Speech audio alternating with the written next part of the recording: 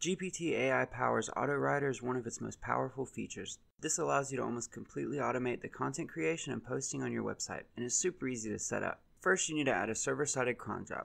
This has to be a server-sided cron job and not a WordPress cron job, or it will not work. There are three or four ways you can accomplish this. I'll show you each of these methods starting with the easiest. And the easiest way to do this starts with cPanel. Once you're at cPanel, go down to the Advanced tab and then click Cron Jobs. Copy your website specific code shown to you in your GPT AI Power Bulk Editor tab and paste it into the command line in cPanel. Here you likely won't have to paste the asterisks, but rather add them into each respective time variable setting.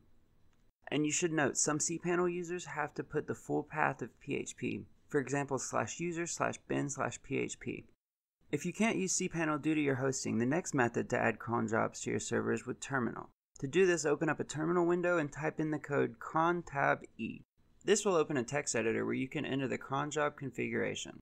You'll need to copy paste the command from your bulk editor page starting with the asterisks.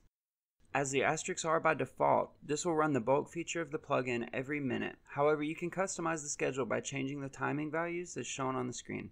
Save and close this file. The cron job will be automatically added. Now wait a couple of minutes and refresh your page again. You'll see a notification message at the top that says, Great, it looks like your cron job is running properly. You should now be able to use the bulk editor. This message means everything went well and you can now use the bulk editor. If you aren't able to set up cron jobs with cPanel or Terminal, you should have access to Plesk. This is how you can add a cron job with this tool. Some hosting providers like Cloudways don't permit running cron jobs with arguments. In these cases, you're going to need to create a separate PHP file and invoke that PHP file from the cron job. You can utilize the provided sample. Ensure that you place it in your root folder. Now that you've added your GPT AI Power's primary cron job, it's time to use your bulk editor. If you're on the free version, you'll be limited to 5 titles at a time, however, it still functions the same as here. Let's get started.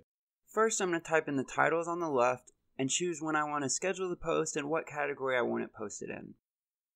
I can even change the author, but I'll leave that default. Next, I can choose the tags I'd like it to add to the articles, specific keywords I want it to include, important keywords for it to avoid using, and then I can add a call to action with anchor texts and target URLs.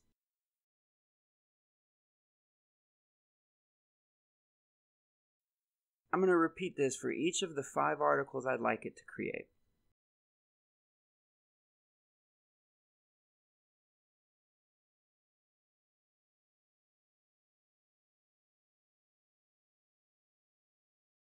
And then I'm going to click generate.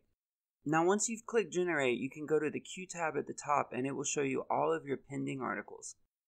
Once GPT AI Power is done with the article, the status will change to completed and you'll see how long it took on this task, the amount of tokens it used, and the word count of the finished product. Next, we're going to look at how to use GPT AI Power with CSV files. First, you're going to want to upload your titles to a CSV file. This is typically just going to be a notepad document with the title separated by commas. When you're saving your CSV file, you might have to type in .csv at the end of the extension for it to save properly. Once you choose file and you upload the CSV file, just click import. If it works successfully, it should take you to the Queue tab and it'll show you your pending articles. Next, I'm going to show you how to use GPT AI Power with the copy paste tab. Navigate to copy and paste at the top of GPT AI Power. Once you're here, you should see a big text box for all of your titles. Now this is kind of similar to the CSV file, except you don't want commas in here. You're going to want each title on its own line. Once you've pasted your titles into the text box, click Generate, and it should navigate you to the Queue tab. Like before, once you're in the Queue tab, you can see the status of your posts, as well as the word count and the token count. And finally, if your GPT AI Power Queue is ever stuck, you should see this button here at the top called Force Refresh, and it'll restart your queue for you.